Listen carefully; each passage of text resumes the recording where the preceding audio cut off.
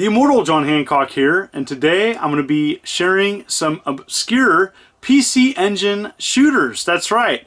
As much as I am a North American collector, I love to play video games, and you know, overseas there were so many games released for the PC Engine that we never got here for our TurboGrafx. And so today I am going to be searching out and sharing with you some PC Engine obscure shooters. Let's check it out. Alright, this is Atomic RoboKid Special. There is a Mega Drive version. This is a little different. This is a more console-friendly version of the arcade game and there's additional features. The levels are a little bit longer. There is a health bar instead of one-hit kills. There are many different weapons in this game, and so you there's a lot of strategy on choosing the right weapons. The levels are colorful and sprites varied, and so I really like this game a lot. It, they did a good job with the with the port of this game, and it, it this the TurboGrafx one to me is console friendly. You know, with that health bar and stuff, this is one that definitely makes me want to play it more. And you know, it's kind of kind of a unique take on a shooter. It's more of a shooter adventure game, and so I really like this. Definitely worth checking out. And one, if you're looking for something different, check out this game. Alright, next up is Dragon Saber, and this is a follow-up to Dragon Spirit. And what's cool about this, this is a two-player game. And you know what? I didn't even know that this was a thing. And so this was a, a pretty decent game. It's not the best shooter, but if you're a fan of Dragon Spirit, I know there's a lot of fans out there, what's really cool about Dragon Spirit is, you know, it has a kind of Xevious style gameplay.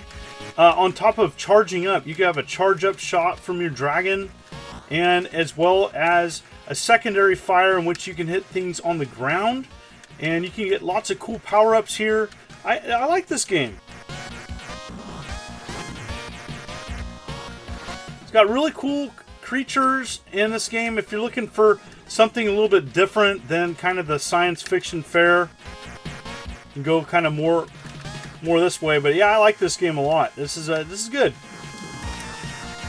Lots of little hidden secrets in the game. Cool power-ups definitely check this one out if you're looking for a follow-up to Dragon Spirit. Next up is Download. And if you like Akira, if you like Cyberpunk, and you like shooters, this is for you. I think Download, you know, unfortunately has been forgotten about. You know, there was a follow-up sequel to it as well, and it just didn't uh, get rave reviews. I think it's a decent shooter. It's a horizontal shooter. Has some awesome, awesome cutscenes. And so I really think this is worth revisiting. It is it is pretty it, it it's pretty intense. I like it. You know, I think it I think it has aged better than what the previous reviews gave it. And I like it. So you can choose your setup at the start. And it is pretty fast. You know, it's a horizontal shooter. It's got decent graphics. I do like the first one better, even though the same team was involved with the second one. Uh, I, I, like the first one a little bit better. Art style is a little, it's a little more abstract. But yeah, I like it. Good stuff. Definitely check out Download.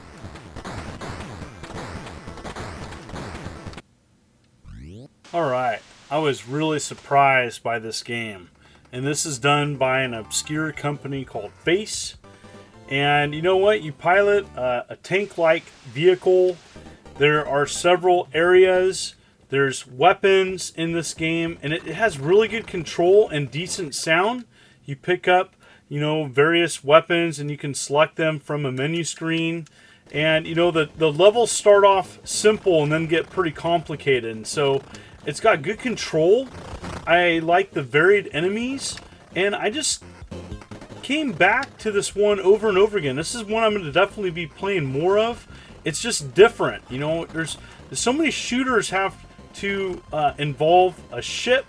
You know, this one take kind of takes a different approach where you're a vehicle.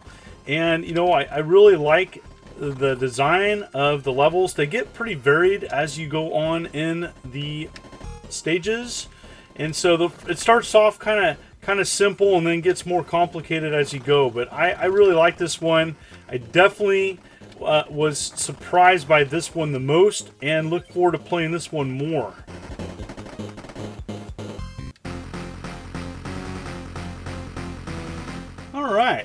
This is Override. You know, and this is a game that's probably going to be overlooked by other popular series, but you know, this is good. This is everything that you would want in a PC Engine shooter. It's fast. It definitely reminds me of Blazing Lasers for the speed. It's got colorful enemies. It's fast. You do have a health bar. I do like that. It so it kind of takes away. Uh, it you know it's it's nice. It's nice. It's got large sprites. There's power ups. It's fast. It's fairly challenging too. But yeah, definitely, you know, this is going to be overlooked by other games, but I'd check it out. If you're looking for something different, Override is a good shooter that a lot of people have forgotten about.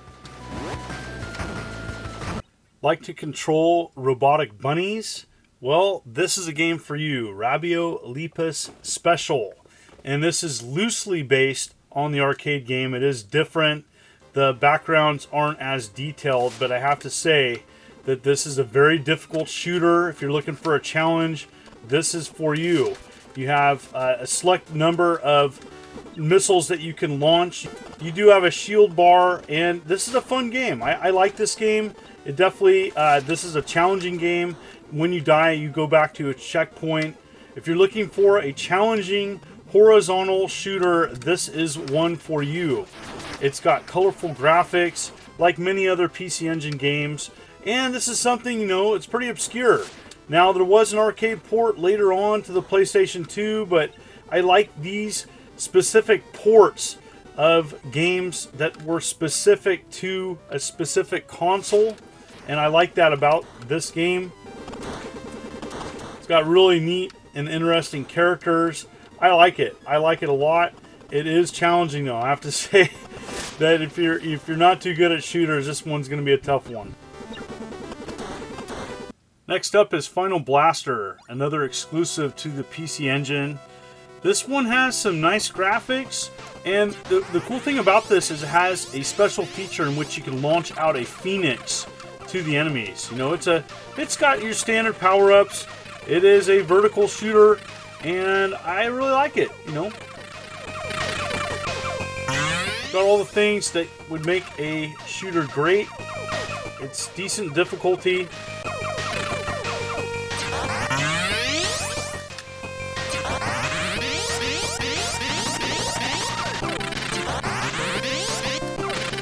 Got nice colorful graphics.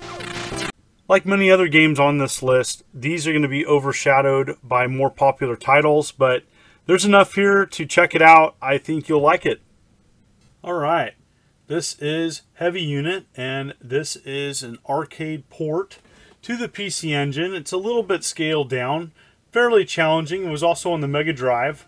And so, but you know, it's a cool, it's a cool horizontal shooter, and I, I like it. It is fairly challenging. It's got some cool enemies and it's got decent graphics. And what it is, is you do get some power-ups in this game.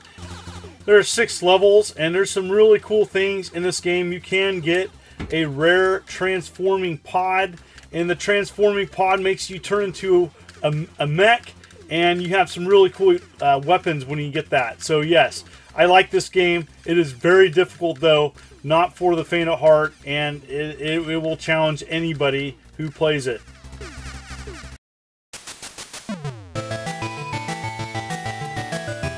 Another obscure shooter is W-Ring, the Double Rings, and this is a horizontal shooter, and I really like it. Kind of has a feel like Gradius, but it's easier in a way. I love that you can speed up your ship uh, like many other shooters on the PC Engine, you have three speeds. Uh, I think the third speed is a little too fast.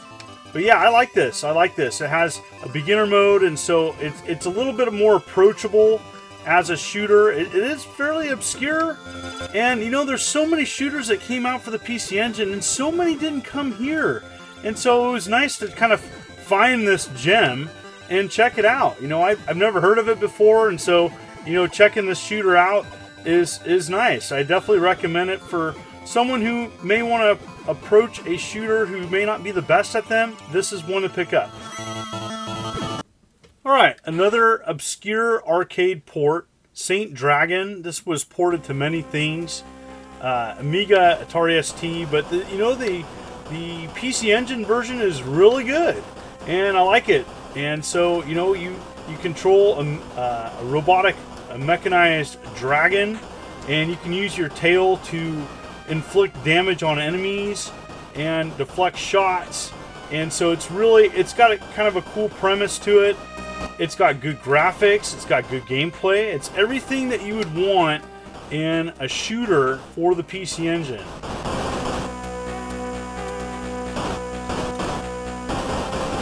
It's got some really cool enemies. Using those power-ups.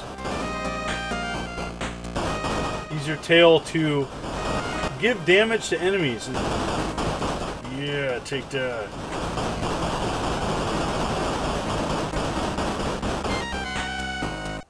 So today I use the PC Engine Software Bible by Sunteam and it was very helpful with researching and finding out some awesome classic shooters out there, you know, and I can't wait to explore more PC Engine games. There's so many classics out there we didn't get. What are your favorite? What are some today that you are going to check out? Comment below as I would love to hear from you. Thank you for the ongoing support. It is most appreciated. Make sure to hit that like button. Hope you liked today's video. This is the Immortal John Hancock. Thank you so much, and you take care.